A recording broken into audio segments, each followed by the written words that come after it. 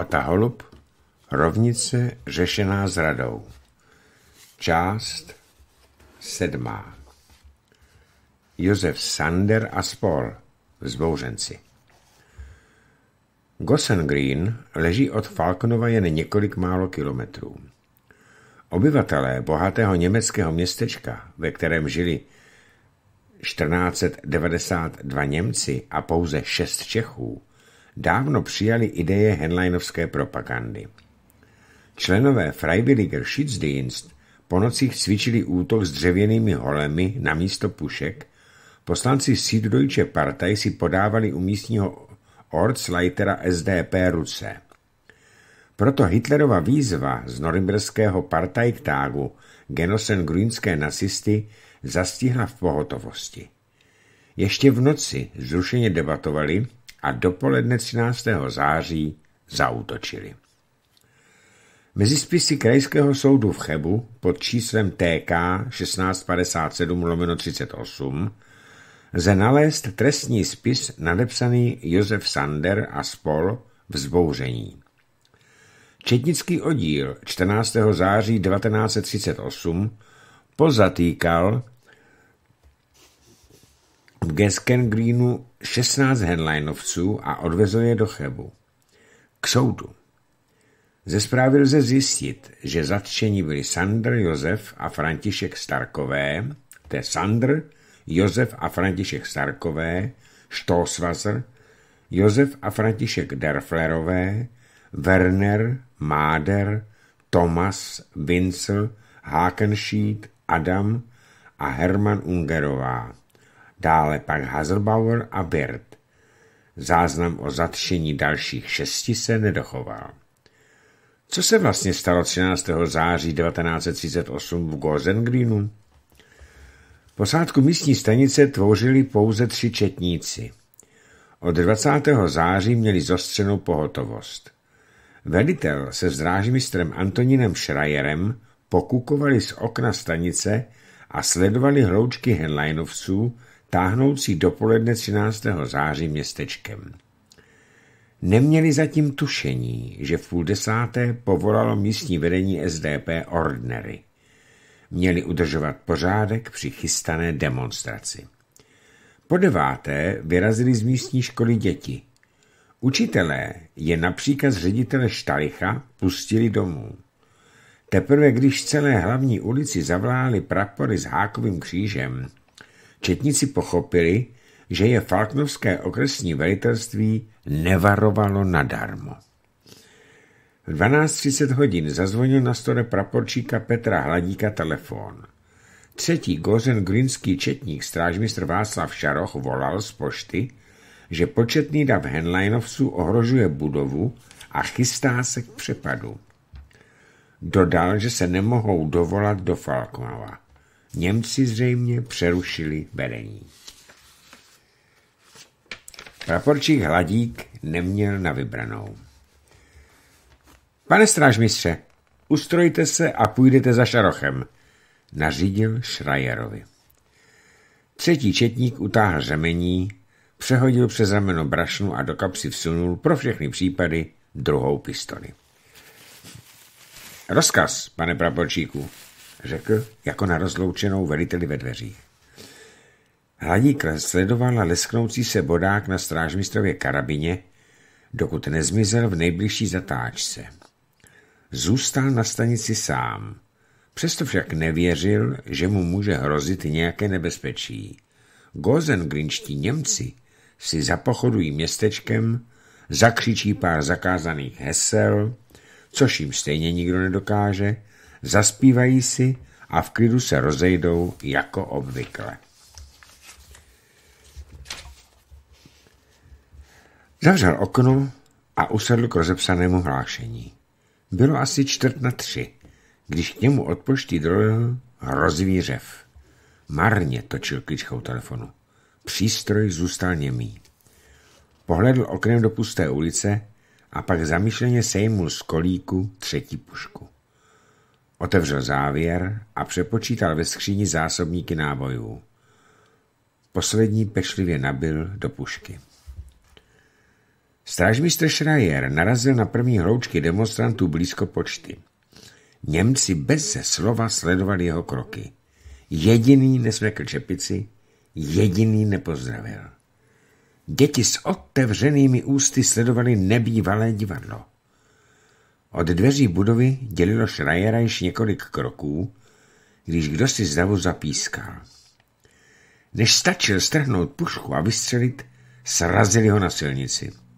Čísi Ruse jej svírali jako kleště, jiné rvali z pouzdra pistoli. Vlastní puškou na něho mířil někdo z ordnerů. Když jej první z trýznitelů udeřil, rozletěl se dveře pošty. Strážmistr, strážmistr Šaroch vyrazil s karabinou v ruce na pomoc kamarádovi. Netušil, že kdo si přitisknutý ke zdi jako stín střeží dveře. Jediným úderem obušku do hlavy srazil Henleinové z druhého četníka k zemi.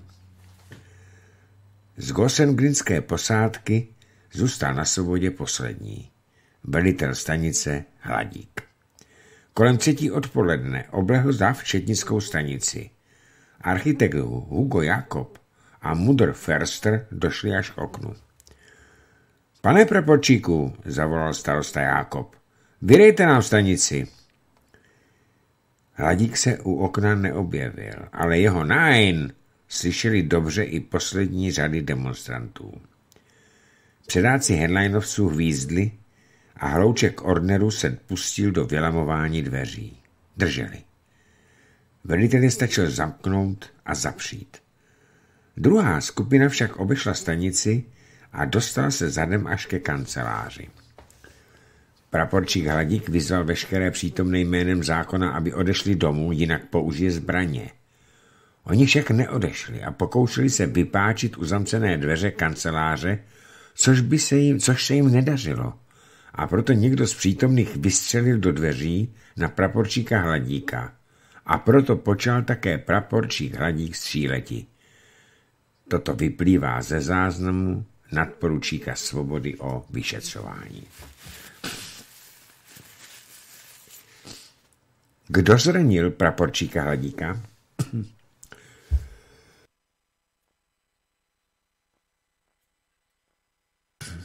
Vyšetřování, vedené po několika hodinách, přesně neobjasnilo, kdo z povstalců vlastně vypálil první ráno. Zjistilo se však, kdo z Henleinovců měl zbraň. Byl to Adam Stoßwasser. Říkal, viděl jsem zbraně u Merce a Arnošta Derflera, a to pistole. František Werner. Můj bratr Antonín nosil stále u sebe automatickou pistoli, kterou jsem u něho výdával. Josef Štark. Na půdu našeho domu vystoupil Jiří Černaj, který střílel z četnické pušky. Josef Vencel. Jiří Černaj a Jiří Štíbert šli spolu od poštovního úřadu a nesli dvě četnické pušky. Merc, Arnoš Delfler, Antonín Werner, Černaj i Štíbert spolu s dalšími deseti Grinskými henleinovci ještě před příjezdem četnictva zmizeli. Proto další průběh povstání v Gesengrínu lze rekonstruovat pouze podle výpovědí praporčíka Hladíka. Zda někoho praporčík Hladík zranil, nemůže udati. Jelikož střelba revolveru neúčinkovala, odešel jeden z ordnerů a přinesl četnickou pušku, kterou četníkům odebrali. Šel na půdu a stropem pětkrát vystřelil na praporčíka Hladíka. Praporčíku Hladíkovi došly náboje a proto šel ke skříni pro další. Podle chůze pravděpodobně Ordner, který byl na půdě a střílel, zjistil, kde se praporčík Hladík nachází, vystřelil a zasáhl jej do levého ramene. Pak odešel praporčík Hladík do kuchyně, jelikož již nemohl e, pušku následkem zranění nabít. Když se pak praporčíku Hladíkovi pro zranění udělalo nevolno, Přivlekli v té době ordneři a jiní hasickou stříkačku a ze silnice na něho stříkali vodu. Na chodníku, na chodbě v, dobu četnické, v domě četnické stanice byl přepaden, prohledán, odzbrojen a doveden do bytu, kde ho lékař Mudr Förster obvázal.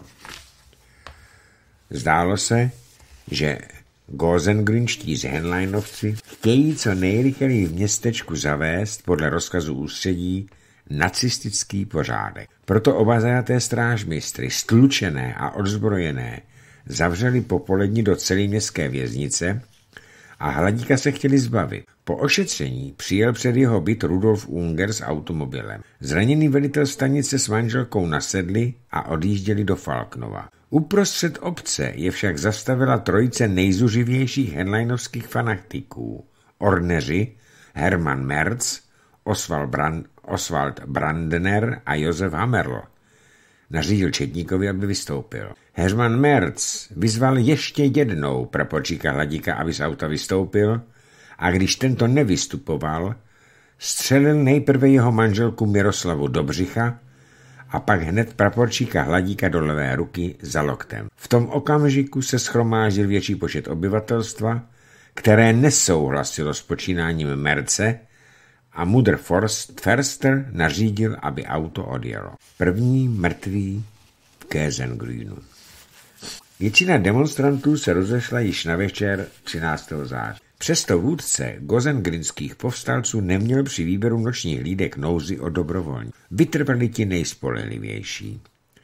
Protokoly se zmiňují o 15 nacistech, kteří časně ráno, jakmile spatřili blížící se soustředěný oddíl četnictva, zmizeli co nejrychleji za německou hranici. Těžká zranění Hladíka a jeho manželky a věznění obou četníků zejší stanice nebylo totiž jediným proviněním, které měli Gozengrinští povstalci na svědomí. Přestřelka, kterou večer 13. září vyprovokovali, byla však tím tíživější, že jeden z přepadených četníků zranění podle Zvlášení číslo jednací 1391 lomeno C se 13.9.1938 vyplývá následují. U Gozengrínu, když se vracel četnický autobus směrem k Falknovu, bylo v zatáčce vystřeleno na četníky autokarem dopravované. Byl zasažen řidič autokaru četnický strážmistr Ráž. Byla mu prostřelena lepka a projektil vyšel ústy. Přesto strážmistr Ráž řídil autokar ještě sto kroků a zastavil jej. Během této stálenosti bylo znovu vystřeleno a závodčí pokora byl střelen projektilem Dum Dum do levé lopatky. Nadporučík Stehlík byl postřelen do pravého ramene. Když četníci, pokud nebyli raněni, vystoupili z auta, vystřelil pouze jedinou ránu za prchajícími útočníky strážmistr Jungwirth. Zda někoho zasáhl, není zjištěno. Strážmistr Ráš byl operován v nemocnici ve Falknově, jeho stav je velmi vážný. 29-letý strážmistr Václav Ráš v noci zranění podlehl. Pokorovi museli amputovat ruku a nadporučíkovi Stehlíkovi kulka jen o vlásek minula krční tepnu. Je opravdu ironii osudu, že tentýž Stehlík, povýšený postupně na kapitána a štávního kapitána, za okupace zradil. Přišel k Němcům a v roce 1946 se dočkal spravedlivé odplat trestu smrti provazem. Antonín Pokora, Příslušník chebského pohotovostního oddílu sám o tomto nešťastném večeru později napsal. Byl jsem zařazen v šestičlenné posile, které velel nadporučík Otakar Stehlík. Naše hlídka po návratu z Habersbirku byla ordnery přepadena a za prudké přestřelky jsem byl v obci Gozengreen těžce raněn střelou Dum Dum. Operoval mě lékař, Ordner. V Praze následovala další operace, výjimutí lopatky. Kdo to velel povstalcům?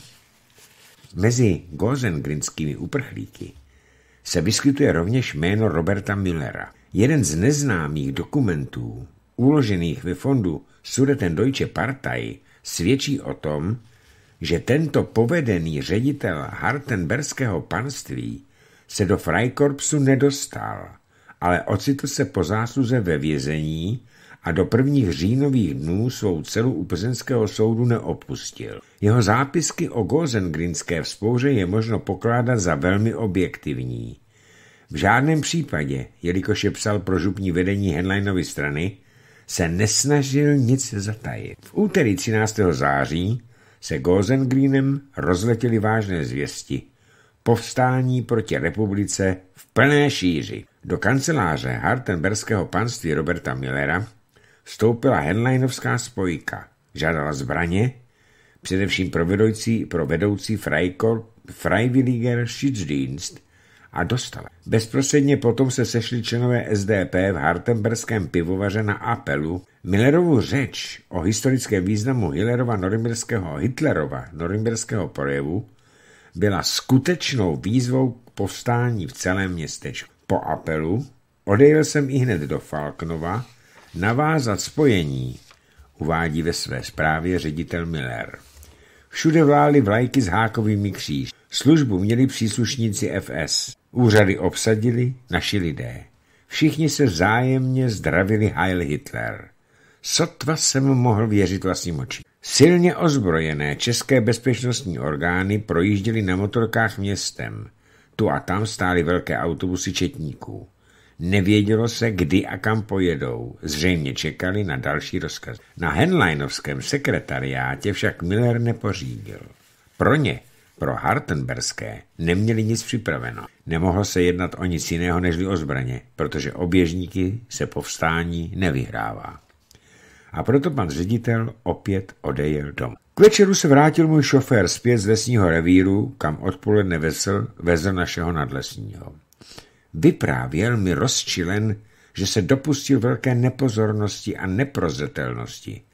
Měl totiž Gosen grinským povstalcům dopravit zbraně z jedné naší hájovny a uložit je ve vesnici, přičemž ho spatřila manželka jednoho z četnických strážmistrů. Poradil se mu, aby uprchl za hranice, nechceli být stíhán podle staného práva. Poslechl. Odejel autem k hranici a šťastně prchl. Netušil jsem, že jeho činy budu muset odpikat sám. Dovezl do Gézen Greenu zbraně a dal rozkaz k palbě při útoku na budovu Četnické stanice. Z tohoto dokumentu Henleinovské strany lze zjistit, že hlavním vůdcem Gozen Greenského povstání byl Sepp Schwarz, řidič Hartenberského panství, který již před řadou let byl pro nacistickou protistátní činnost několik měsíců vězněn. Velmi zajímavá je i poslední část Millerovy zprávy o událostech 14. září. Citace. Odebral jsem se zpět do pivovaru. Povstání se zhroutilo. Všude se zatýkalo. Docházely nejdivočejší zprávy. Lidé byli nervózní, nikdo neměl náladu do práce. Nakonec přijelo auto s pěti četníky. Před konírnou mě chytili. Přijíždí Praga Alfa, SPZC 35 853. V půl třetí ráno 14. září 1938 důstojník pátého hraničářského praporu zabavil v Rakovníku osobní automobil Praga Alfa C 35 853, kterým krátce po čtvrté hodině odejel praporčík Josef Zamrzla s několika četníky do Falknova. Spatřili obdobný obraz, jako před několika hodinami ředitel Miller. Ulicemi však procházelo více četníků než včera a na křižovátkách se objevily první vojenské hlídky prvního cyklistického praporu. K Zamrzlovi, štábním strážmistrům Antonínu Klíčovi a Václavu Rosenbergovi a strážmistrům Josefu Pláničkovi a Arnoštu Přibylovi přisedl do vozu nadporučík František Svoboda, odvelený do Falkonova před několika hodinami z České lípy. Ničeho se nemusíme obávat, kolegové. Před námi odjeli do Gesengringu tanky. Gesengrinu tanky. Dostal jsem rozkaz z mostnice s nimi městečka obsazeného povstalci a obnovit pořádek. Řekl jim důstojník na uvítano. Brzy ráno přijeli do Gesengringu.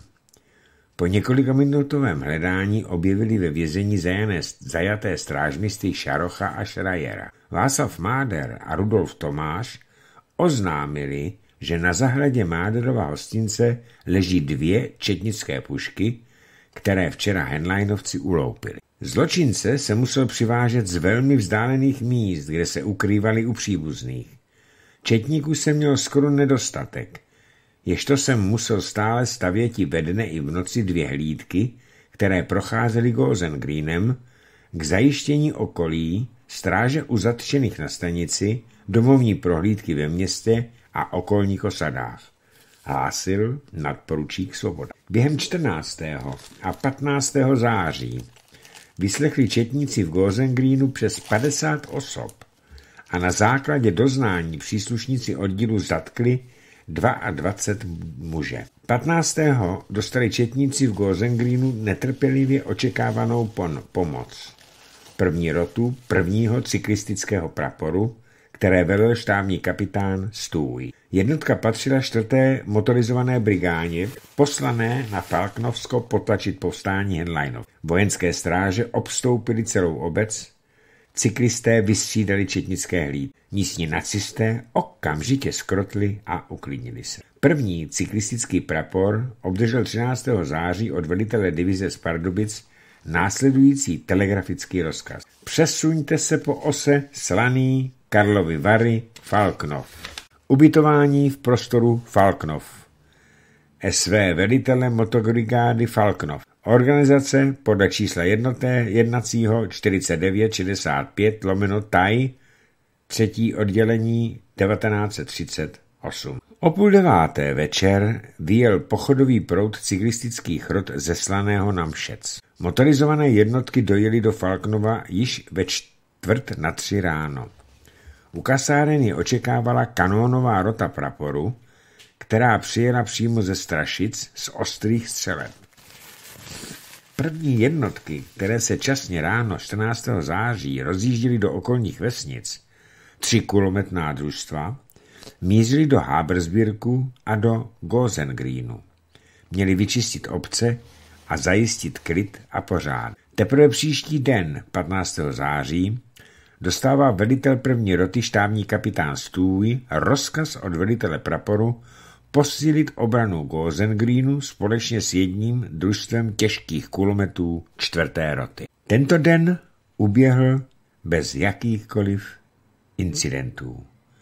Po setmění svítilo v městečku jen několik oken, ale i ta brzy pohasla. Teprve čtvrt hodiny před desátou třeskly první rány osudné přestřelky. Krvec to dostal, pane štábní, Velitel roty seděl ještě poslední s poručíkem v záloze Václavem Kopeckým v improvizované kanceláři na poš- Kopecký měl mít do půlnoci službu. Už nehovořili o služebních věcech, bavili se o všem možném, co poslední hodiny přinesli. Ani jeden z nich nepohlédl na hodinky, když před budovou práskl první výstřel. Vyskočili od stolu a aniž by si řekli jediné slovo, Oba mysleli, že se přišli mstít orneř. Na chodbě se srazili s vojinem novotným, který nesouvisle vysypal své nebalé hlášení. Krbec to dostal od Ludviga, pane štábní kapitáne. Družstvo desátníka aspiranta Krpce rozduteklo se při přestřelce do úkrytů a vojín Ludvík pálil po mně a třech mých druzích. Někteří se skryli na schodiště poštovního úřadu. Vypálil jsem tři rány proti Ludvígovi, pak jsem se schopil a vběhl jsem do dveří poštovního úřadu. Ludvík mě střelbou pronásledoval, ale ani jednou ze tří, ze tří ran nezasáhl. Na poštovním úřadě hlásil jsem štábnímu kapitánu Stůjovi, že vojín Ludvík zastřelil velitele stráže, desátníka aspiranta Krpce. Ten se i hned po první ráně skácel a vykřikl ještě Ježíš Maria. Toto vyplývá z protokolu sepsaného vojínem v záloze Josefem Novot. V okamžiku, když jsem otevřel dveře, bylo proti mně vystřeleno ze směru, kde byla uskladněna kola, hlásil druhý den štábní kapitán Stůj, veliteli praporu plukovníku Františku Konopáskovi, další průběh Gozengrinské události. Odebral jsem se proto do prvního poschodí poštovního úřadu, abych lépe viděl na ulici. Spatřil jsem záblesky na rohu hotelu proti poště. Nemohl jsem proti tomu nějak zakročit, ježto je střelec byl kryt rohem. Ostatní mužstvo, které bylo volné, obsadilo budovu, ve které bylo ubytováno. Kromě vojína Novotného se zachránil z Krpcovi stráže ještě vojín záloze Josef Veselka. Patřil k ním pravděpodobně i vojín Herbert Frank. Oba šťastně unikli smrtícím ranám Ludvigovi pušky. Na ulici zůstala ležet těla tří vojáků. Krbec utrpěl smrtelný průstřel plic, vojín Bohumil Čepek vykrvácel po těžkém zranění a vojinu v záloze Netíkovi prostřelil Ludvík srdce a plíce. Záložník zůstal ležet na místě. Ti všichni patřili do vystřídané stráže. Jejich smrtí však Gozen grinské krve prolití nezakončí. K velitelství roce roty se vracela hlídka četaře Františka Broženské. Skrytý střelec je uvítal několika ranami. Broženského zranil a četaři Karešovi, přidělenému první rotě od kulometky, prostřelil prsa. Smrtelně zraněný podůstojník rovněž na místě vykrvá. V této přestřelce vyběhl vojín Lorenz z místnosti, kde bylo ubytováno mužstvo, aby zachránil na ulici ležícího četaře Stanislava Kareše, který už byl mrtev. Na pomoc mu přispěchal i svobodník Čmedla, který byl však při záchraně zastřelen. Po vojínu Lorencovi a svobodníku Čmedlovi bylo stříleno dvakrát. Vojín Lorenz vyvázl však s menším zranění. Zhlášení štábního kapitána stůje. Svobodník prvního cyklistického praporu Václav Kokšál vzpomínal. Jak bych je neznal, vždyť jsem byl téměř dva roky s nimi. Lorenz ten dělal mechanika. Jak mohl, tak se někde ulil, ale byl dobrým kamarádem. Když jsme píchli, museli jsme lepit sami. Ale Lorenz nám, nováčkům, to dělával sám. Znal jsem i kamarády, co padli. Krpce jsme měli rádi. Nikoho nehonil a nebyl ani příliš energický. Kareš, to byl takový malý pořízek. To byl typ vojáka. Tvrdě vyžadoval pořádek. Ale po službě jsme, po službě jsme ho znali jako dobrého kamaráda.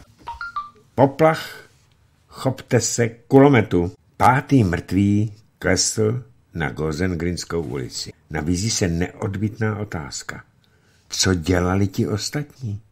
Bránili se ať již maniakovi či vrahovi pomocníkovi Henleinovců? Většina mužstva, která měla tu noc volno, spala v sále protějšího hostince. Mezi nimi i svobodník Oldřich Strna. Když jsem slyšel volatí poplach, tak jsem se podíval i hned na hodinky. Bylo 21.30 hodin. Pušku jsem neměl, půjčil jsem mi strážnému. Když někdo asi desetkrát volal, chopte se kulometu, a nikdo tak neučinil, uchopil jsem kulomet a s ním dva plné zásobníky a vyběhl jsem ven, kde jsem byl skoro sám. Ostatní zůstali na schodech. Po chvíli vyběhlo několik vojínů za mnou. Chvíli byl klid. A asi za pět minut bylo slyšet několik ran, načež začal někdo sténat. Na Prahu domu, odkud chtěl svobodník v záloze Oldřich Strnat pálit proti zatím nespatřenému nepříteli, byl sám zraněn do ramene. U kulometu jej vysílal desátník Bohuslav Barták. Vojín Josef Pock, hledí, sežící na dvoře hostince vyrovnaná kola roty, viděl Ludviga, jak kráčí k pumpě uprostřed dvora a opět se vrací. Pak padla první rána.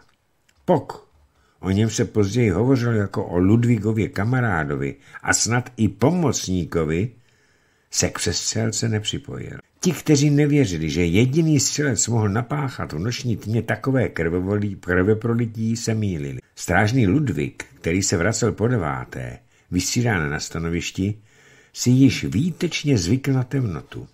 Když to skupina, která vyběhla z hostince, neviděla nic, jen záblesk několika výstřelů. Jediným živým z těch, co viděli z bezprostřední blízkosti vraha, zůstal řidič osobního automobilu četnického oddílu Josef Bláha. Vojín plížil se po zemi přes silnici k mému vozu a z poštovního úřadu na něho bylo voláno, aby odhodil pušku. Neuposlechl a u mého vozu zůstal ležet. V té době přijelo od Falknova auto s četníky, které zastavilo těsně za mým vozem. Před příjezdem četníků jsem byl zraněn do levé ruky a v důsledku toho jsem již dobře nevnímal, co se kolem děje. V té době, než přijelo auto s četníky od Falknova, slyšel jsem palbu z kulometu, pravděpodobně od četnické stanice v Gozen Greenu. Tato palba byla vedena pod můj vůz, pravděpodobně na vojáka, který se tam nacházel. Jestli snad tento voják byl palbou z kulometu zasažen, nevím, protože jsem se ve svém voze kryl. Dodávám, že vojín, který se nacházel pod mým vozem, střílel z pušky pravděpodobně do oken hostince nebo do směru, odkud byla slyšet střelba z kulomet. Tento voják vystřelil více ran, protože jsem slyšel, že znovu nabíjí pušky. Četnický oddíl, který dojel z Falknova a vojáci první cyklistické roty vypálili proti sobě neskut, skutečně z nedorozumění několik rán. O pár dnů později se začalo ve Falknově hovořit o tom, že Gozengrinští mrtví se stali obětí právě tohoto nedorozumění. Ve skutečnosti však padli na prostranství mezi poštou a hostincem daleko dřív, než četnický pohotovostní oddíl vůbec dorazil. Několik zajímavých poznatků obsahovala zpráva velitele četnického oddělení z Karlových varů, odeslaná 16. září ve 3 hodiny 15 minut. Podle ní 15. září večer vyslýchalo několik četníků v prvním patře městského domu, kde byla rovněž pošta, pět podezřelých Němců. Po prvních výstřelech přerušili výstře, výslech a snažili se dostat z budovy, ale dveře ostřeloval neviditelný střelec. Proto chtěli alespoň přivolat četnické stanice vzdálené asi půl kilometru po silu. Po chvíli skutečně dorazila. Nadporučík Svoboda dal nejvyššímu četníku došlé četnické hlídky rozkaz, aby opatrně postupoval a neutralizoval osobu, která sílí. V té době přijelo četnictvo z Falknova nad Ohří, aby převzalo devět začených. Bylo však také napadeno s palbou a opětovalo ji z kulomet. V seznamu padlých a zraněných příslušníků SOS je uvedeno, že 15. září byl v Gozengrínu lehce zraněn vrchní strážmistr Václav Kožíšek. Pouze on mohl být zraněn při této nezaviněné přestřelce vojáků s četníky, vzniklé nedorozuměním a nejasnou situací této noci. Posádka na poště, oba důstojníci armády, nadporučík Svoboda a jeho šest četníků, zaslechla posléze z ulice volání štábního strážmistra Macháčka, že stojí proti poště s lehkým kulometem. Teprve potom palba zcela ustala. Autobus i četnický automobil rozsvítili reflektory a v jejich paprscích spatřili hrůznou podívanou. Pět mrtvých vojáků leželo na Gozenbrinské ulici, tři zraněné kamarády zdravotník spěšně obvazoval a čtvrtému civilnímu řidiči Bláhovi pomáhali z prostříleného automobilu. V jeho blízkosti potom nalezli vojína France Ludvík. Při přes po přestřelce byl vojín František Ludvík nalezen smrtelně zraněn na hlavě ranou, vedoucí z podbrady ke koření nosu. Jmenovaný kolem jedné hodiny dne o 16. tohoto měsíce zranění podlehl. Úřední pitvou bylo zjištěno, že jde bez pochyby o sebevraždu. Zhlášení velitele prvního cyklistického praporu 16. 9. Proč Franz Ludvík vraždil? Za zavřenými okny vyhlíželo zděšeně do ulice několik místních Němců. Nechápali, co se před jejich zraky odehrává, protože dobře věděli, že povstalci dávno uprchli za hranice. A tak zůstalo záhadné, proč. A na tuto otázku zatím nikdo z Gozengrínu nedokázal odpovědět. Nikdo? Časně z rána sepisovali důstojníci první roty protokol s telegrafním montérem Pavlem Botavou. Opravoval 15. září poškozené telefonní vedení a nedostal se již zpět do Františkových lázní House Helen 172, kde bydlel. Botava udává, že krátce před 19. hodinou dne 15. září vyšel ještě s neznámým vojínem z poštovní budovy na ulici a ubíral se k blízké drogérii. Při návratu zpět povšiml si před hostincem naproti poštovnímu úřadu postavy vojína, živě rokujícího se ženou, snad hostinskou z naznačeného hostince. Hovor vedli německy. A dle způsobu gestikulace jednalo se o vážnýho. Vojákem před hostincem byl s největší pravděpodobností Ludvík, chystající se k odchodu na stojku. A příčina přestřelky? Nadporučík Svoboda vyslýchal ještě devět zatčených, pro které si mělo v noci přijet Falknovské šetnictví. V panice, která by při přestřelce vznikla, mohli je ostatní henlajnovci snáze osvobodit. Pavel Votava se ovšem mohl snadno mílit, protože první rota měla více vojáků německé národnosti. Pamatuju si na přesně na náš odjezd ze slaného 13. září. Přijeli jsme do Falknova a slyšeli jsme hrůzostrašné historky o našich padlých a jejich vrazích. Začali jsme dělat kravál. Chtěli jsme jít čistit lesy, ale nepustili nás. Nic z toho nebylo. Ludvíka přemluvili ke střelbě určitě jeho kamarádi, Němci od roty. Desátník Najman, obchodní příručí, který u nás sloužil, později za války pracoval na libereckém gestapu. A pak jeden četař, také nacista, menší tmavovasý kluk. A pak podporučík Miller a jeden aspirant. To byli nejhorlivější agitátoři Henleinov. Ale měli jsme i dobré kluky Němce. Svobodníka Hodbodě, Frantu Hellera, Vojina Rajze, Svobodníka Schillera, samé socdemáky. Když nám sebrali nacisté sudety, ti kluci brečeli a nechtěli jít k Hitlerovi, vzpomínal svobodník Kokšák. Všechny zprávy o tragickém osudu šesti mladých lidí zůstaly pouze slovy strohých služebních hlášení, bez lítosti, bez soucitu, bez náznaku lidské účast. Vyslechneme si svědka posledního. Svědka, člověka. Nemohu nikdy zapomenout. Ta noc v Gesengreenu to byla pro mne událostí, na kterou nemohu nikdy zapomenout. Těmito slovy končil své vzpomínání tehdejší šéf-lékař prvního cyklistického praporu, podporučík Mudr Jiří Smrčka. Po létech generálmajor, známý primář druhé interny ústřední vojenské nemocnice v Praze. Vraťme se však k počátku jeho vyprávění. Dostal jsem v noci 15. září rozkaz odjet do Gesengreenu. Jela tam naše sanitka doprovázená tankem. Měli jsme řidiče, Němce, a celou cestu jsem mu tvrdil, že to zde dobře znám, aby ho snad nenapadlo ujet s námi za hranice. Snad na něho zapůsobilo i to, že oba naši zdravotníci měli sebou ruční granát. Kolem půlnoci jsme se ocitli v městečku. Tma byla jako v pytli.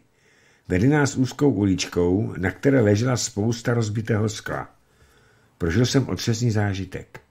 Na poště leželi mrtví mládenci.